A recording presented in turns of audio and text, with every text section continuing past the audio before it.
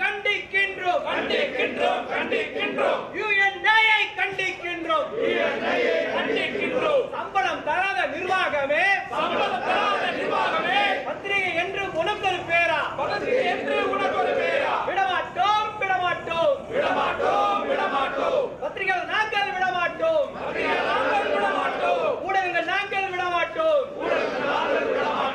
ஏமாற்றாதே ஏமாற்றாதே ஏமாற்றாதே ஏமாற்றாதே உழைத்தவனுக்கு கூலி கொடுக்காமல் உழைத்தவனுக்கு கூலி கொடுக்காமல் ஏமாற்றாதே ஏமாற்றாதே ஏமாற்றாதே ஏமாற்றாதே யுஎன்ஐ நிர்வாகமே யுஎன்ஐ நிர்வாகமே நீதி வழங்கு நிதி வழங்கு நீதி வழங்கு நீதி வழங்கு ஒரு அறுபது மாத சம்பள பாக்கியை ஒரு நிறுவனம் வழங்காமல் பத்தாயிரம் பதினைந்தாயிரம் தவணையில் வழங்கியதனுடைய விளைவாக தன்னுடைய பொருளாதார சிக்கலை கூட சிரமங்களை கூட நம்மோடு பகிர்ந்து கொள்ளாத ஒரு தோழர் இன்றைக்கு படமாகவும் அவருடைய குடும்பம் இன்றைக்கு நிர்கதியாய் நம்மோடு நிற்கிறது என்பதை விட ஒரு மிக அவலமான ஒரு துயரமான ஒரு நிலை நமக்கு ஏற்பட்டிருக்காது. கடந்த இருபதாம் தேதி தன்னுடைய மகளுக்கு திருமண நிச்சய ஏற்பு என்பதை திட்டமிட்ட நிலையில் பதிமூன்றாம் தேதி அவரே இல்லை என்கின்ற சூழ்நிலையில் நாம் இன்றைக்கு யுஎன்ஐ நிர்வாகம் தொடர்ந்து தன்னுடைய ஊழியர்களை ஒரு குமார் இன்றைக்கு படமாகி இருக்கிறார் இன்றைக்கு தன்னுடைய உயிரை தியாகம் செய்திருக்கிறார். மிகப்பெரிய மன உளைச்சலுக்கு ஆளாகி இந்த ஒரு மோசமான ஒரு முடிவுக்கு அவர் தள்ளப்பட்டிருக்கிறார். பல்வேறு தனிநபர்கள் நம்முடைய சக பத்திரிகையாளர்கள் நிதி உதவியை அந்த குடும்பத்திற்கு வழங்க அவர்களால் முடிந்ததெல்லாம் அன்றைக்கு அவருடைய வீட்டுக்கு போயிருந்தப்போ அவங்க மனைவி வந்து கதறி எழுதுறாங்க ஐயோ எவ்வளவு பேர் எவ்வளவு கஷ்டப்படுறாங்க தெரியல. அவங்களாம் எங்களுக்கு உதவி செய்யறாங்களேன்ட்டு ஒரு கண்ணீர் விட்டார்கள். ஒரு சக பத்திரிகையாளர்கள் சக மனிதர்களை தெரிந்த ஒரு இயல்பான வருத்தம் வேதனை அது.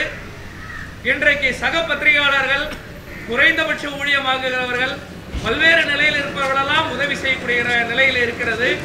நம்முடைய தமிழக அரசு ஒரு மூன்று லட்சம் ரூபாயை அறிவித்திருக்கிறது.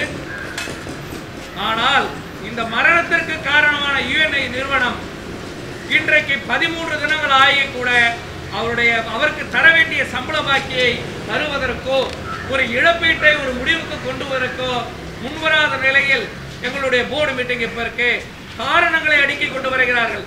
கடந்த வாரத்தில் அதனுடைய ஆசிரியர் வந்த பொழுது பத்திரிகையாளருடைய அமைப்புகளுடைய பிரதிநிதிகள் நேராகவே சந்தித்து அவரோட முறையிட்டனர்.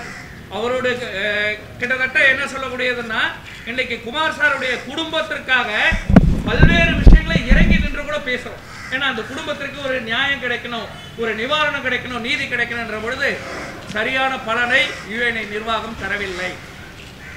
யுஎன்ஐ நிர்வாகம் பொருளாதார சிக்கலில் இருக்கிறது நெருக்கடியில் இருக்கிறது என்பதை திரும்ப திரும்ப சொல்கிறார்களே தவிர அந்த நிறுவனத்திற்காக உழைத்தவர்களுடைய குடும்பம் வாழ்க்கை இந்த நிறுவனத்திற்காக வாழ்ந்து கொண்டிருப்பவருடைய வாழ்க்கையை பற்றி அவர்கள் சரியாக சிந்தித்ததாக தெரியவில்லை. தொழிலாளர் நலத்துறை அரசினுடைய பல்வேறு இடங்களில் தொடர்ந்து போராட வேண்டிய ஒரு துர்பாக்கியமான நிலைக்கு நாம் அனுப்பியிருக்கிறோம். இது வெறும் யுஎன்ஐ நிறுவனம் குமார் சாருடைய மரணத்திற்கான நீதி கேட்கக்கூடிய போராட்டம் அல்ல. இன்றைக்கு நாடு முழுவதும் பல்வேறு ஊடக நிறுவனங்களில் கிட்டத்தட்ட இது போன்ற ஒரு போக்குதான் நிலவிக் கொண்டிருக்கிறது. அது வந்து அளவுகள் மாறுகிறது எண்ணிக்கைகள் மாறுகிறது.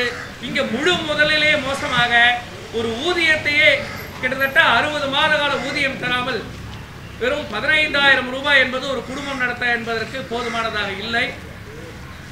நாம் இன்றைக்கு குமார் சாருடைய குடும்பம் மொத்த பேர் இங்கே வந்திருக்காங்கன்றது வந்து ஒரு பக்கம் நிறைய கண்ணீர்களை நம்ம கொண்டு வந்தாலும் கூட இந்த உரிமை போராட்டத்தில் நாம் அவர்களோடு இருக்கிறோம் என்பதை விட நம்முடைய போராட்டத்தோடு அந்த குடும்பமும் இருக்கிறது என்பதை உறுதி செய்திருக்கிறார்கள். உள்ளபடி இந்த துயரமான நிலையிலே அவர்களை இப்படி பார்ப்பது நமக்கு வேதனை கொடுத்தாலும் இந்த போர் இனி வரக்கூடிய நாட்கள் இருந்து போராட்ட நாட்களாகத்தான் இருக்க முடியும். நாம் நியாயத்திற்காக நம்முடைய நீதிக்காக நம்முடைய உரிமைகளுக்காக ஒற்றுமையோடு போராடி நியாயத்தையும் நீதியையும் வென்றெடுக்க வேண்டும். அதற்கு நாம் அனைவரும் ஒற்றுமை முக்கியமானது. இந்த ஆர்ப்பாட்டம் என்றது ஒரு கவன ஈர்ப்ப அடையாள ஆர்ப்பாட்டம் தான். இந்த ஆர்ப்பாட்டங்களை போராட்டங்களை வலுவடைய செய்யக்கூடிய நிலையில் நியாயமான நிவாரணங்களை யுஎன்ஐனுடைய இந்தியா முழுக்க யுஎன்ஐ தொழிலாளர்களுடைய ஊதிய பாக்கியை அந்த நிறுவனம் செய்ய வேண்டும். அதற்கு மத்திய மாநில அரசுகளுடைய தொழிலாளர் நலத்துறைகள் இனியும் தூங்காமல் ஏன்னா இன்றைக்கு நீதிமன்றங்களுக்கு போனால் அவர்களுக்கான தீர்வு கிடைக்காமல் நீதிமன்ற வழக்குகளை வைத்து பல்வேறு காலகட்டத்தில் ஓய்வு பெற்றவர்களுக்கெல்லாம் கூட இந்த நிதி அவர்களுக்கு உரியது போய் சேரவில்லை. தொடர்ந்து நாம் இந்த போராட்டத்தை முன்னெடுப்போம். எங்கள் குடும்பம் எங்கள் குடும்பம்.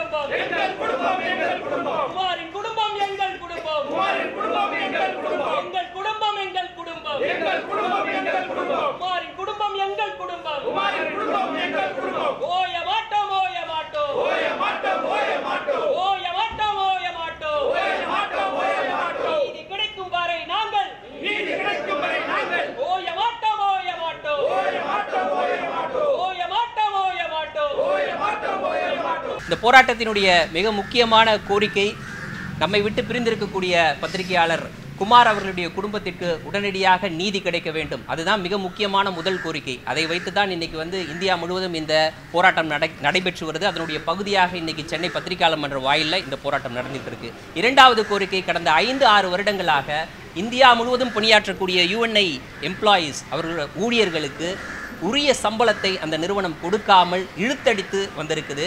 அதனுடைய விரக்தியின் காரணமாகத்தான் இன்னைக்கு நம்ம தோழரை இழந்திருக்கோம். இது வந்து தோழர் தன்னுடைய உயிரை மாய்த்து கொண்டார்னு சொல்ல முடியாது. இது வந்து ஒரு பச்சை படுகொலை. ஐந்து வருஷமாக அவர் போராடி இருக்கிறார். அவர் கேட்காத இடங்கள் கிடையாது. நிர்வாகத்திற்கு அவர் கேட்டிருக்கிறாரு அவருடைய குடும்பம் சார்பாக தனிப்பட்ட முறையில் இமெயில் அமைச்சிருக்கிறாங்க எதற்கும் நிர்வாகம் வந்து செவி சாய்க்கவே இல்லை. இறுதியாகத்தான் தோழர் இப்படிப்பட்ட ஒரு நிலைமைக்கு தள்ளப்பட்டிருக்கிறாரு. ஆகவே இதை அவர் அவருடைய உயிரை மாய்த்து கொள்ளவில்லை அவர் படுகொலை செய்யப்பட்டிருக்கிறார். அந்த படுகொலைக்கு தான் இன்னைக்கு நம்ம நீதி கேட்டு நின்றுகிட்டு இருக்கோம். இது நடந்து ரெண்டு வாரம் ஆகுது அன்னைக்கு வந்தார் மூணு பேர் உட்காந்து பேசணும் அவர்கிட்ட. எங்களை பார்த்த உடனே தொழிற்சங்கத்தினுடைய நிர்வாகிகளை பார்த்த உடனே பத்திரிகையாளர் அமைப்புகள் நிர்வாகிகளை பார்த்த உடனே யூஎன்ஐ நிர்வாகம் அதனுடைய பிரதிநிதியாக வந்த நபர் நீங்கள் யார் கேள்வி கேட்கறதுக்குன்னு தான் ஆரம்பித்தார் அதற்கு பிறகு நாம் ஏன் கேள்வி கேட்க தகுதியான நபர்கள்னு சொல்லி புரிய வச்சு அவருக்கு கால அவகாசத்தை கொடுத்து நம்ம அமுச்சு வச்சிருக்கிறோம். நிச்சயமாக அது நீதி கிடைக்கும்ன்ற ஒரு நம்பிக்கை நமக்கு இருக்குது தோழர் சொன்ன மாதிரி இது ஒரு அடையாள போராட்டம் தான் இந்த போராட்டம் போதாது அப்படின்ற ஒரு நிலைக்கு நம்மளை தள்ளினாங்கன்னா நிச்சயமாக நீதி கிடைக்கும் வரை ஒரு காத்திரமான போராட்டத்தை முன்னெடுப்பதற்கு சென்னையில் இருக்கக்கூடிய பத்திரிகையாளர் சங்கங்கள் எல்லாமே ஒருங்கிணைந்து ஒரு முடிவெடுக்கணும்னு ஒரு கோரிக்கையை முன்வைக்கிறேன்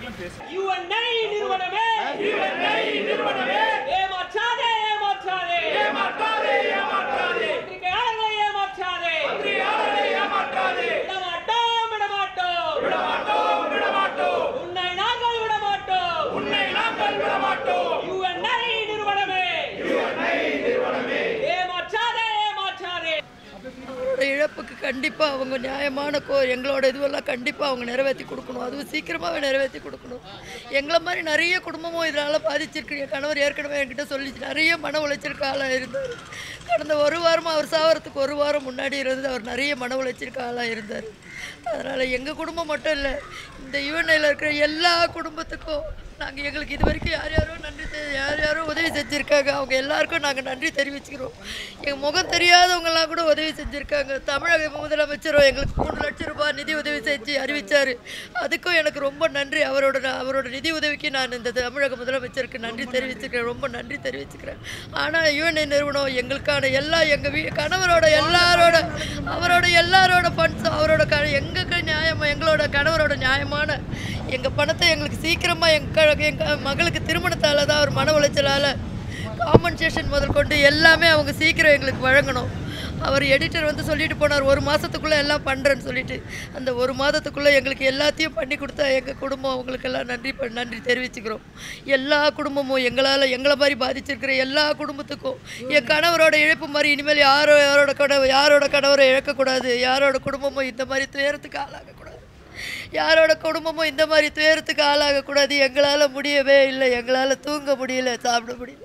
எங்கள் வீட்டில் இருக்கவே முடியல. நாங்களும் தற்கொலை பண்ண முடியாத அளவுக்கு நாங்கள் துயரத்தில் இருக்கிறோம். எங்கள் துயரத்தை தீக்கணும்னா என் கணவரோட இழப்பீடு தொகை அவருக்கு ஏன்னா எல்லா இதுவும் எங்களுக்கு வந்து சேர்ற மாதிரி எங்களுக்கு ஒரு சீக்கிரமாக ஒரு ஒரு மாதத்துக்குள்ளே தரேன்னு சொல்லிட்டு போனாங்க. அந்த மாதிரி எங்களுக்கு செஞ்சு கொடுத்தாங்கனாலே எங்களுக்கு போதும். அது வரைக்கும் போதும். எல்லா குடும்பங்களும் எங்கள் கணவரோட இழப்பு மாதிரி அந்த குடும்பத்துக்கும் வரக்கூடாது. அதுதான் என்னோட கோரிக்கை. என இழந்திருப்பது நம்முடைய குடும்பத்தினுடைய மிக முக்கியமான ஒரு உறுப்பினரை இந்த போராட்டம் வலுவடையும். மத்திய மாநில அரசுகளுடைய தொழிலாளர் நலத்துறைகள் அந்தந்த மாநிலத்திற்குடைய செய்தி மக்கள் தொடர்பு துறைகள் யுஎன்ஐ நிறுவனத்திற்கு கடுமையான அழுத்தங்களை கொடுத்து நியாயமான கோரிக்கைகளை நிறைவேற முன்வர வேண்டும். நாம் யுஎன்ஐ நிர்வாகத்திற்கு அனைத்து அமைப்புகள் தோழருடைய சார்பாக ஒரே ஒரு கோரிக்கையை உரிமையாக இங்கே வைக்கின்றோம். இந்த மாதத்திற்குள் அடுத்து வரக்கூடிய பதினைந்து தினங்களுக்குள் இந்த குடும்பத்திற்கு வர வேண்டிய ஊதிய நிலுவை மற்றும் இழப்பீட்டுத் தொகையை நீங்கள் வழங்க வேண்டும். இல்லை என்றால் பல்வேறு விதமான இடர்களை நிச்சயமாக சந்திக்க வேண்டி வரும். இந்த போராட்டம் மிக தீவிரமாக வலுவடையும்.